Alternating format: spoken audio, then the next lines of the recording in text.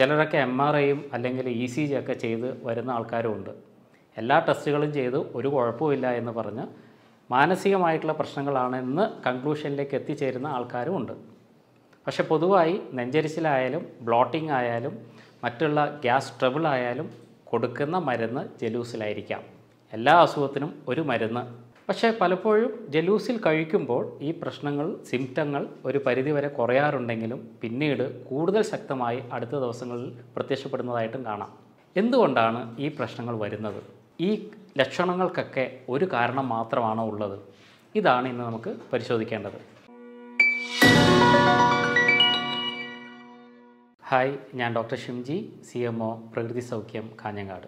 Gas trouble ഇല്ലാത്ത അനുഭവിക്കാത്ത ആരാണുള്ളത്? നമ്മുടെ ദൈനംദിന പ്രവർത്തനത്തെ ഏറ്റവും കൂടുതൽ ബാധിക്കുന്ന പ്രധാനപ്പെട്ട ഒരു ബുദ്ധിമുട്ടാണ് ഗ്യാസ് ട്രബിൾ അല്ലെങ്കിൽ നെഞ്ചരിച്ചൽ അല്ലെങ്കിൽ ബ്ലോട്ടിംഗ് വയറ് നിറയുക തുടങ്ങിയ പ്രശ്നങ്ങളൊക്കെ. ഇത്തരം പ്രശ്നം നമുക്ക് വരികയാണെങ്കിൽ ആ വന്ന ഗ്യാസ് പുറത്തേക്ക് പോകുന്നത് വരെ ബർപ്പിംഗ് ആയിട്ടോ തികട്ടിയിട്ടോ അല്ലെങ്കിൽ കീഴ്വായു ആയിട്ടോ പുറത്തേക്ക് പോകുന്നത് വരെ നമ്മൾ വളരെയധികം അസ്വസ്ഥരായിരിക്കും. ചില പേഷ്യൻസൊക്കെ വന്നു കഴിഞ്ഞാൽ പറയാറുണ്ട് ഗ്യാസ് തലയിലൊക്കെ കയറുന്നു തലകറക്കം വരുന്നു അസ്വസ്ഥത ഉണ്ടാകുന്നു എന്നൊക്കെ. മറ്റു ചിലർക്ക് ഹൃദയത്തിലേക്കാണ് ഗ്യാസ് കയറുന്നത് എന്നൊക്കെ പറയാറുണ്ട്. ചിലരൊക്കെ എം ആർ ഐയും അല്ലെങ്കിൽ ഇ സി ജി ഒക്കെ ചെയ്ത് വരുന്ന ആൾക്കാരും ഉണ്ട്. എല്ലാ ടെസ്റ്റുകളും ചെയ്ത് ഒരു കുഴപ്പമില്ല എന്ന് പറഞ്ഞ് മാനസികമായിട്ടുള്ള പ്രശ്നങ്ങളാണെന്ന് കൺക്ലൂഷനിലേക്ക് എത്തിച്ചേരുന്ന ആൾക്കാരും ഉണ്ട്. പക്ഷെ പൊതുവായി നെഞ്ചരിച്ചിലായാലും ബ്ലോട്ടിംഗ് ആയാലും മറ്റുള്ള ഗ്യാസ് ട്രബിൾ ആയാലും കൊടുക്കുന്ന മരുന്ന് ജലൂസിലായിരിക്കാം. എല്ലാ അസുഖത്തിനും ഒരു മരുന്ന് പക്ഷേ പലപ്പോഴും ജലൂസിൽ കഴിക്കുമ്പോൾ ഈ പ്രശ്നങ്ങൾ സിംറ്റങ്ങൾ ഒരു പരിധിവരെ കുറയാറുണ്ടെങ്കിലും പിന്നീട് കൂടുതൽ ശക്തമായി അടുത്ത ദിവസങ്ങളിൽ പ്രത്യക്ഷപ്പെടുന്നതായിട്ടും കാണാം. എന്തുകൊണ്ടാണ് ഈ പ്രശ്നങ്ങൾ വരുന്നത്? ഈ ലക്ഷണങ്ങൾക്കൊക്കെ ഒരു കാരണം മാത്രമാണോ ഉള്ളത്? ഇതാണ് ഇന്ന് നമുക്ക് പരിശോധിക്കേണ്ടത്. ഇത്തരം ലക്ഷണങ്ങൾക്കൊക്കെ ഒരു കാരണമല്ല. പല കാരണങ്ങളുണ്ട്. അതിൽ ഏറ്റവും പ്രധാനപ്പെട്ട രണ്ട് കാരണങ്ങളെക്കുറിച്ചാണ് ഇന്ന് നമ്മൾ ചർച്ച ചെയ്യുന്നത്. അതിലേറ്റവും ആദ്യത്തത് ഹൈപ്പോ ആസിഡിറ്റി എന്ത് പ്രശ്നം വന്നാലും നമ്മൾ പറയുക ആസിഡ് കൂടി ആസിഡിറ്റി ഉണ്ട് എന്നാണ്. പക്ഷേ പല ലക്ഷണങ്ങളും ഒരു പക്ഷേ ശരീരത്തിനകത്തുള്ള ആസിഡിന്റെ അളവ് കുറയുന്നത് കൊണ്ടായിരിക്കാം. എങ്ങനെയാണ് ശരീരത്തിനകത്തുള്ള ആസിഡ് കുറയുന്നത്? നമ്മുടെ ശരീരത്തിൽ ആസിഡ് ഉണ്ടാക്കുന്നത് പെറൈറ്റൽ സെൽസ് എന്ന് പറയുന്ന സെല്ലിലാണ് ഈ പെറൈറ്റൽ സെൽസിന് ഏതെങ്കിലും തരത്തിലുള്ള ഇൻഫ്ലമേഷൻ വരികയാണെങ്കിൽ ആസിഡിന്റെ സെക്രീഷൻ ഉണ്ടാകില്ല. ഇത്തരത്തിൽ ആസിഡിന്റെ നിർമ്മാണം തടസ്സപ്പെടുത്തുമ്പോഴാണ് പലപ്പോഴും പലർക്കും ഈ പറയുന്ന അസ്വസ്ഥതകൾ ഉണ്ടാകാറുള്ളത്. എന്തുകൊണ്ടാണ് ഇത്തരം പെറൈറ്റൽ സെൽ ഡാമേജ് അല്ലെങ്കിൽ ബ്ലോക്കേജ് ഉണ്ടാകുന്നത്? ശരിയായ ഒരു കാഴ്ചപ്പാട് അതിൽ വരുന്നത് എച്ച് പൈലോറിയുടെ എച്ച് പൈലോറി എന്ന് പറയുന്ന ബാക്ടീരിയയുടെ അളവ് വരുന്ന വ്യത്യാസമാണ്. എച്ച് പൈലോറി ശരീരത്തിനകത്തുള്ള ആസിഡിന്റെ അളവ് കുറക്കാനും സഹായിക്കുന്ന ഒരു കാര്യമാണ്. ഇത് മുൻ മുൻപേ തന്നെ ഹെൽത്ത് മേഖലയിൽ ചർച്ച ചെയ്യപ്പെട്ടുകൊണ്ടിരിക്കുന്ന ഒരു വസ്തുതയുമാണ്. റീസെന്റായിട്ട് നമ്മൾ മനസ്സിലാക്കിയ വേറൊരു കാര്യം കൂടെയുണ്ട്. പലപ്പോഴും ഹൈപ്പോ അസിഡിറ്റി അല്ലെങ്കിൽ ആസിഡ് കുറയുക എന്ന് പറയുന്ന കണ്ടീഷൻ അസോസിയേറ്റ് ചെയ്ത് വരുന്നത് തൈറോയ്ഡ് ആന്റിബോഡിയുമായിട്ടാണ്. ശരീരത്തിൽ തൈറോയ്ഡ് ആന്റിബോഡി റിയാക്ഷൻ ഉള്ളവർക്ക് ഹൈപ്പോ അസിഡിറ്റി ഇല്ലെങ്കിൽ ആസിഡിന്റെ സെക്രീഷൻ കുറഞ്ഞു വരുന്നതായിട്ട് ക്ലിനിക്കൽ റിസർച്ചസിൽ വ്യക്തമായിട്ടുണ്ട്. അപ്പോൾ ശരീരത്തിനകത്ത് വരുന്ന ആന്റിബോഡീസ് തൈറോയ്ഡ് ആന്റിബോഡീസ് കൊണ്ടും ശരീരത്തിനകത്തുള്ള ഹൈഡ്രോക്ലോറിക് ആസിഡിന്റെ അളവ് ആസിഡിന്റെ അളവ് കുറയാം. ഇത്തരത്തിൽ ഹൈപ്പോ ആസിഡിറ്റി അല്ലെങ്കിൽ ആസിഡ് ശരീരത്തിൽ കുറഞ്ഞവരെ എങ്ങനെ പെട്ടെന്ന് മനസ്സിലാക്കാം? ഭക്ഷണം കഴിച്ച് ഒരു ആദ്യം പ്രശ്നമൊന്നും ഇല്ലെങ്കിലും ഒരു ഇരുപത് ഇരുപത്തഞ്ച് മിനിറ്റൊക്കെ കഴിയുമ്പോഴായിരിക്കും ഇവർക്കുള്ള അസ്വസ്ഥതകൾ വർദ്ധിക്കുക. ഇത്തരത്തിൽ ഭക്ഷണം കഴിച്ച ഒരു ഇരുപത് മിനിറ്റിന് ശേഷമാണ് നിങ്ങളുടെ അസ്വസ്ഥതകൾ വരുന്നതെങ്കിൽ അത് ഹൈപ്പോ അസിഡിറ്റി ആവാനുള്ള സാധ്യതയാണ് കൂടുതൽ. നമുക്ക് എങ്ങനെ ഹൈപ്പർ അസിഡിറ്റി ആണോ അതെങ്കിൽ ആസിഡ് കൂടിയത് കൊണ്ടാണോ അല്ലെങ്കിൽ ആസിഡ് കുറഞ്ഞത് കൊണ്ടാണോ പ്രശ്നം ഉണ്ടാകുന്നതെന്ന് മനസ്സിലാക്കുന്നത്?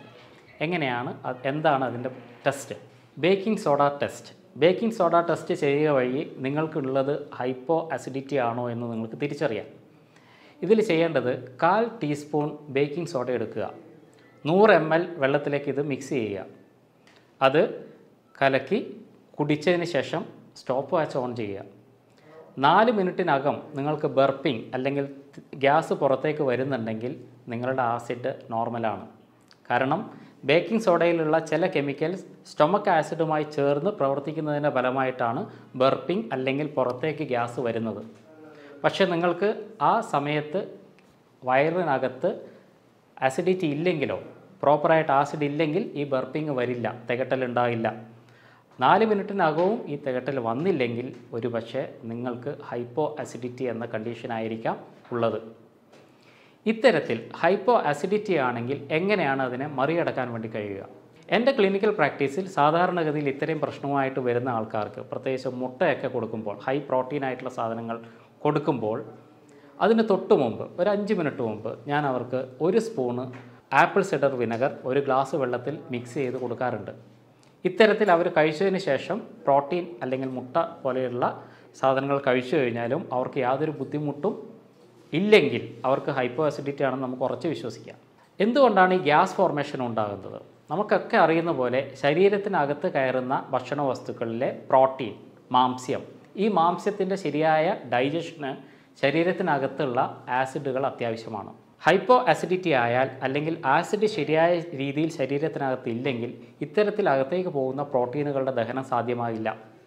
ഇവ അകത്ത് കട- കിടന്ന് ഫെർമെന്റഡ് ആവുകയും അതിന്റെ ഫലമായിട്ടുണ്ടാകുന്ന ഗ്യാസ് ഫോർമേഷനുമാണ് നമ്മളെ ബുദ്ധിമുട്ടിലേക്ക് നയിക്കുന്നത്. അതുകൊണ്ട് തന്നെ ആപ്പിൾ സിഡർ വിനെഗർ പോലെയുള്ള കാര്യങ്ങൾ ആസിഡ് ക്യാരക്ടറുള്ള വസ്തുക്കൾ നമ്മുടെ ശരീരത്തിനകത്തുള്ള ഇത്തരം പ്രശ്നങ്ങളെ കുറയ്ക്കാൻ വേണ്ടി സഹായിക്കും. ആപ്പിൾ സിഡർ വിനെഗർ പോലെ നമുക്ക് ഉപയോഗിക്കാൻ പറ്റുന്ന മറ്റൊരു കാര്യമാണ് ലെമൺ കോൺസെൻട്രേറ്റ്സ് അല്ലെങ്കിൽ ലെമൺ അടങ്ങിയ ചെറു നാരങ്ങ അടങ്ങിയ കോൺസെൻട്രേറ്റുകൾ. അതേപോലെ തന്നെ ജിഞ്ചർ പ്രത്യേകിച്ച് ജിഞ്ചർ കൂടി ചേർത്തിട്ടുള്ള മോര്. ഇതൊക്കെ നമ്മളെ ഇത്തരത്തിലുള്ള പ്രശ്നങ്ങളിൽ നിന്ന് മറികടക്കാൻ വേണ്ടി സഹായിക്കുന്നതാണ്. ഇപ്പോൾ നമ്മൾ ഡിസ്കസ് ചെയ്ത എല്ലാ ലക്ഷണങ്ങളും ഹൈപ്പർ അസിഡിറ്റിയിലും കാണിക്കാം.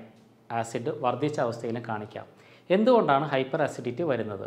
നേരത്തെ നമ്മൾ ചർച്ച ചെയ്തതുപോലെ പെരൈറ്റൽ സെൽസാണ് ഈ ആസിഡിനെ സെക്രീറ്റ് ചെയ്യുന്നത്. പെരൈറ്റൽ സെൽസിലുണ്ടാകുന്ന ചില ട്രിഗേഴ്സ് അതിനകത്ത് വരുന്ന ചില സ്റ്റിമുലേഷൻസ് ആണ് ഇത്തരത്തിലുള്ള ഓവറായിട്ടുള്ള ആസിഡ് സെക്രീഷന് ഇടവരുത്തുന്നത്. എന്തൊക്കെയാണ് പ്രധാനമായിട്ടും ഹൈപ്പർ അസിഡിറ്റിക്ക് കാരണമാകുന്ന കാര്യങ്ങൾ? അതിലേറ്റവും പ്രധാനം എച്ച് പൈലോറി തന്നെയാണ്. എച്ച് പൈലോറി ഈക്വലി ഹൈപ്പോ അസിഡിറ്റിക്കും ഹൈപ്പർ അസിഡിറ്റിക്കും കാരണക്കാരനാകുന്നു എന്നുള്ളതാണ്. അപ്പോൾ എച്ച് പൈലോറിയെ നിയന്ത്രിക്കുക എന്നുള്ളതും വളരെ പ്രധാനപ്പെട്ട ഒരു കാര്യമാണ്. ഇതേപോലെ തന്നെ കോർട്ടിസോൾ അല്ലെങ്കിൽ സ്ട്രെസ് ഹോർമോൺസ് കോർട്ടിസോൾ പോലെയുള്ള സ്ട്രെസ് ഹോർമോൺസുകളും നമ്മുടെ ഹൈപ്പർ സെക്രീഷന് സാധ്യത ഉണ്ടാക്കുന്നു. അതുകൊണ്ട് ഹൈപ്പർ അസിഡിറ്റി ഉള്ളവർ സ്ട്രെസ് മാനേജ്മെന്റ് ചെയ്യേണ്ടതും വളരെ വളരെ അത്യാവശ്യമുള്ള കാര്യം തന്നെയാണ്. ഇനി നിങ്ങൾക്ക് വന്നത് ഹൈപ്പർ അസിഡിറ്റി കൊണ്ടുള്ള പ്രശ്നങ്ങളാണെങ്കിൽ എങ്ങനെ അതിനെ മറികടക്കാം? എച്ച് പൈലോറിയെ നിയന്ത്രിക്കാനുള്ള ഏറ്റവും നല്ല മാർഗങ്ങളിലൊന്ന് ബ്ലാക്ക് ക്യുമിൻ സീഡ്സ് അല്ലെങ്കിൽ കരിഞ്ചീരകമാണ്. കരിഞ്ചീരകം ഒന്നോ രണ്ടോ സ്പൂണ് പൊടിച്ച് അതിനകത്ത് തേനിൽ ചാലിച്ച് കഴിക്കുന്നത് രണ്ട് നേരമായി കഴിക്കുന്നത് എച്ച് പൈലോറിയെ നിയന്ത്രിക്കാൻ വളരെയധികം സഹായിക്കുന്നതാണ്. പ്രോബയോട്ടിക്സ് അടങ്ങിയ ഭക്ഷണങ്ങൾ കഴിക്കുക എന്നുള്ളതും ഇതിന് നല്ലൊരു പ്രതിവിധിയാണ്. അതേപോലെ തന്നെ നന്നാറി നന്നാറി വേര് ചതച്ചിട്ട് തിളപ്പിക്കുന്ന വെള്ളം കുടിക്കാനായി ഉപയോഗിക്കുക. ഒന്നോ രണ്ടോ ലിറ്റർ വെള്ളം തിളപ്പിച്ച് വെച്ച് നന്നാറി വെള്ളം കുടിച്ചുകൊണ്ടിരിക്കുന്നതും ഹൈപ്പർ അസിഡിറ്റിയെ കുറയ്ക്കാൻ വേണ്ടി വളരെയധികം സഹായിക്കുന്നതാണ്. ഈ സിംറ്റംസ് അല്ലാതെ തന്നെ ഹെമറ്റോളജിക്കലി രക്തത്തിൽ വരുന്ന വ്യത്യാസങ്ങളും പഠനവിധേയമാക്കാറുണ്ട്. സി ബി സി പോലെയുള്ള ജനറലായിട്ട് ചെയ്യുന്ന ടെസ്റ്റുകൾ അല്ലെങ്കിൽ എൻഡോസ്കോപ്പി പോലെയുള്ള കാര്യങ്ങൾ എച്ച് പൈലോറിയുടെ പ്രസൻസ് കണ്ടുപിടിക്കാനുള്ള എക്സാമിനേഷൻസ് ഇതെല്ലാം കൂടിച്ചേർന്ന് കൃത്യമായ രീതിയിലുള്ള ഒരു ഡയഗ്നോസിസിൽ എത്തിച്ചേർന്ന് എന്ത് അസുഖമാണോ നിങ്ങൾക്കുള്ളത് എവിടെയാണോ അത് ബാധിച്ചിട്ടുള്ളത് അതിനനുസരിച്ച രീതിയിലേക്കുള്ള ചിട്ടകളും ക്രമീകരണങ്ങളും ഭക്ഷണ രീതിയിലായാലും ജീവിതചര്യയിലായാലും നടത്തുക എന്നുള്ളതാണ് ഏറ്റവും പ്രധാനമായി നമ്മൾ ചെയ്യേണ്ടിയിരിക്കുന്നത്. അപ്പോൾ എന്ത് തരത്തിലുള്ള പ്രശ്നമാണ് നിങ്ങളെ ബാധിച്ചിട്ടുള്ളത്? ഹൈപ്പർ ആണോ? ഹൈപ്പോ ആണോ എന്ന് തിരിച്ചറിഞ്ഞ് അതിനുള്ള ചികിത്സ ശരിയായ രീതിയിൽ ചെയ്യുക എന്നതാണ് ഈ പ്രശ്നത്തെ മറികടക്കാനുള്ള ഏറ്റവും നല്ല വഴി. കൂടുതൽ ഹെൽത്ത് ടിപ്സുമായി വീണ്ടും നമുക്ക് കാണാം. അതുവരെ എല്ലാവർക്കും നന്ദി.